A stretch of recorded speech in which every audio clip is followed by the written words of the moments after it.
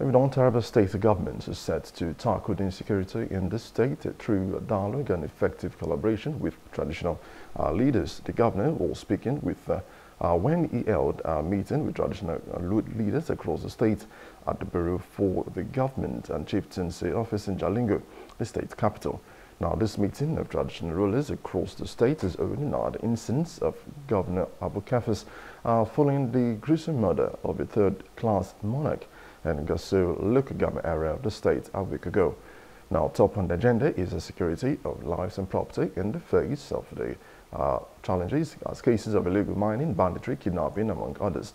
Now, Chairman Taraba Council of Rulers and also the Paramount Rulers of Wukari uh, Chiefdom urged his uh, people uh, to open and tell the government what they need uh, to know and also tackle insecurity at uh, vital loss of lives following the assassination of their colleague.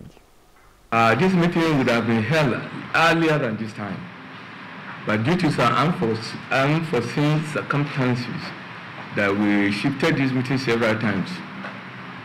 We have a lot of things to discuss. We have a lot of challenges in Taraba State, which directly or indirectly affected the traditional rulers. That is the reason why we call this meeting together so that we can rub mind together and find solution to what is happening in our domains.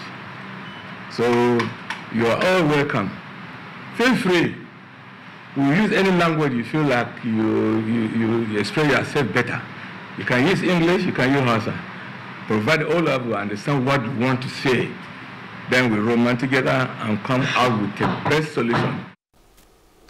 The North is Zona Coordinator of the National Identity Management Commission who was also invited to the meeting to them and the importance uh, of the identity number went on his knees to appeal to Nigerians for the ability for the Commission to tackle insecurity and all the challenges in NIN.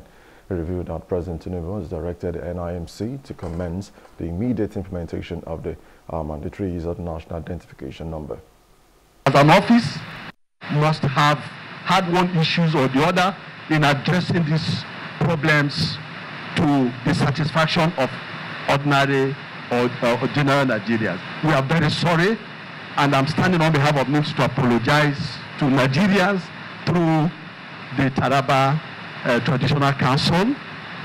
Uh, we are doing much to address all these loopholes to do that. So we can use the NIN in addressing security problems in so many ways. As I told you, you can understand your majesty. There are people kidnap people and keep in the bush and use phone to collect money. You can imagine.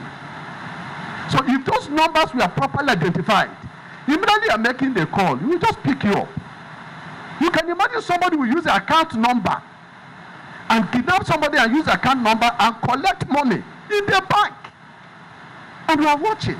So this is what national identification number through the Office of National Identity Management Commission is coming to address so that everything you are doing is linked to your identity. Whatever you do will be able to pick you